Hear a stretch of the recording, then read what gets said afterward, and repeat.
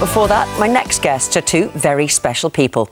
Christina Vasquez from Lurgan has a five year old daughter, Emily. Now, Emily has a condition called Dandy Walker syndrome. It means she cannot walk, talk, or sit up. Emily needs specialist care and she gets much of that from her nurse, Rosie Mulholland.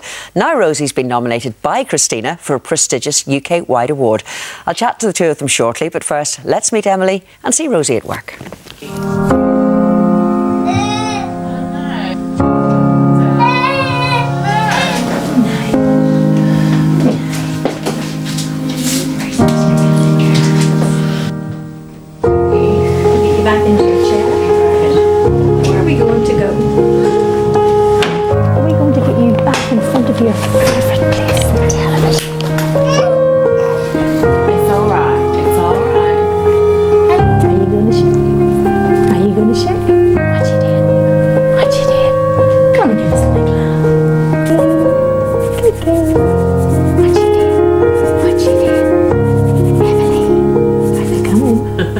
Coming? Are they coming? You're thinking about it. Well, ladies, thank you so much indeed for joining me this evening. Rosie, I can just tell you love your work.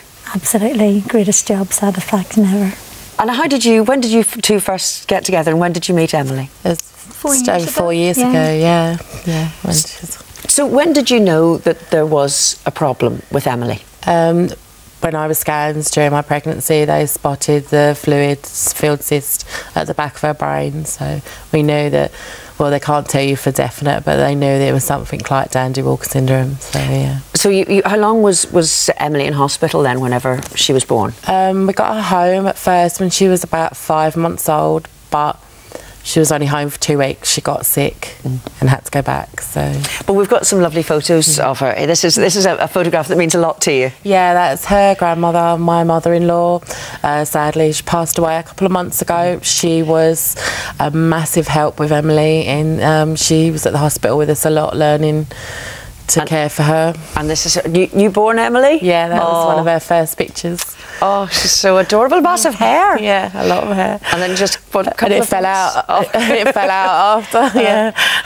Oh, so what, what, what exactly is the syndrome, Ro- Rosie? Because I, it's something I'd never heard of before, but you have come across it. Yes, I've come across it in a number of other children before, and basically, as Christina has described, during in utero development, the cyst forms in the back of the brain, which obviously impacts on brain development mm. and leads to the disabilities which Emily faces on a day to day basis. So how much help is Rosie to you, Christina? massive help, massive support with Emily and just with my whole family, with my two boys at home, Joshua and Ethan. You know, having a child with special needs impacts on everybody involved in her care, and Rosie just goes above and beyond. And I know that she's always there if I need her. Because it is important because uh, when, whenever you have a child that, that needs just that little bit of extra care, the other two can feel like, Yeah. well, mummy's all just too busy. Mummy's always busy. Yeah. So yeah, it has. It's my oldest is fantastic with Emily. Ethan adores her, my little boy, but he also misses having his mum around. The first couple of years of Emily's life was hard. Well, it seems that this was a natural thing to nominate Rosie for the award, and I can tell you're mortified by this, aren't Absolutely, you? absolutely. absolutely. You're happy just Good going choice of on with your work.